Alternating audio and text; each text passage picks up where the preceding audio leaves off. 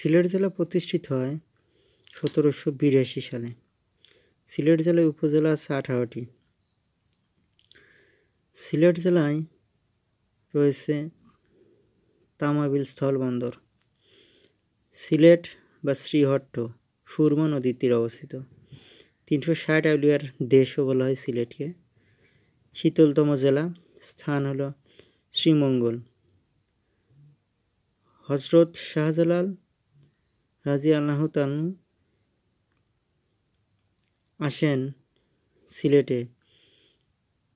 সুলতান ফিরোজ শাহ সিলেটে এসেছিলেন। তিনি পরাজিত করেন রাজা গৌর গোবিন্দকে। শাহজালাল ও শাহ পরাণ এর মাজার রয়েছে সিলেটে। প্রথম সার কারখানা ফেঞ্জুগঞ্জ সিলেটে অবস্থিত। হুমায়ুন রশিদ চৌধুরী সিলেটের বাসিন্দা। সর্বোচ্চ বৃষ্টিপাত লালখান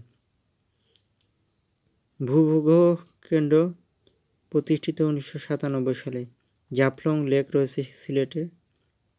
বাংলাদেশের প্রথম চা বাগান, মালিনীসরা, সিলেটে তৈরি হয়েছিল। সিলেটের পূর্বে রয়েছে করিমগঞ্জ, যেটি ভারতে অবস্থিত। আর পশ্চিমে রয়েছে সুনামগঞ্জ। সিলেটের দক্ষিণ রয়েছে মৌলভীবাজার।